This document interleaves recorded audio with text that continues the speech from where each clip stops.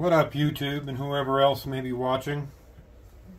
Today I was installing a new hard drive in my computer, this 500 gig 980 Pro from Samsung. Going to be a new boot drive to replace my old 960 Pro, which is up underneath this heatsink right here.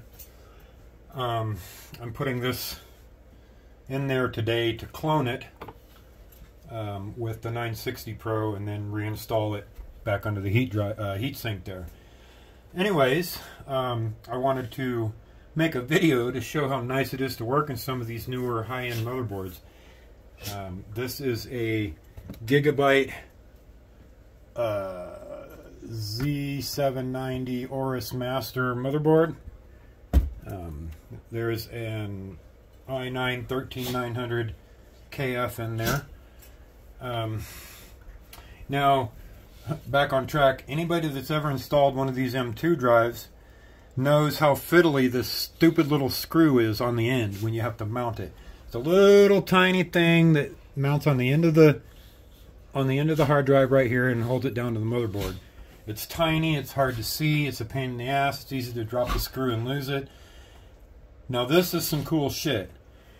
You just take your hard drive, you slot it in, well, first of all, let me show you this. It's got this little tiny clip right here that kind of moves a little bit.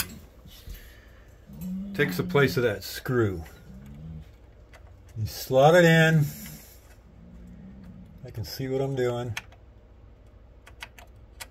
Just like that. And it sits there, you know, you can kind of springy.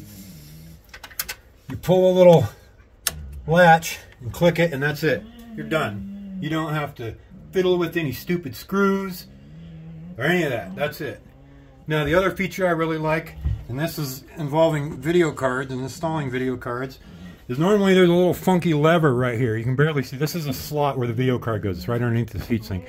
Normally there's a lever right here that's a pain in the ass to get to, hard to see. Sometimes you have to reach a screwdriver down in there, and that's scary when you're working on a $700 motherboard. So what these guys have done is put a button over here that releases the latch on the video card, and I'll show that. That means I have to install this card, which is filthy, and then pull it back out and uh, show how the latch works.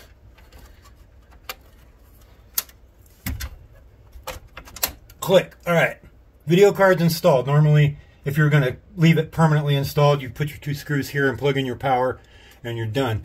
So normally when you have to pull one of these out, there's a latch down in there you have to try to reach to release it. Now with this, you just press this button and pull it out. That's fucking amazing. Other people that make motherboards do this and this. Always. Thank you.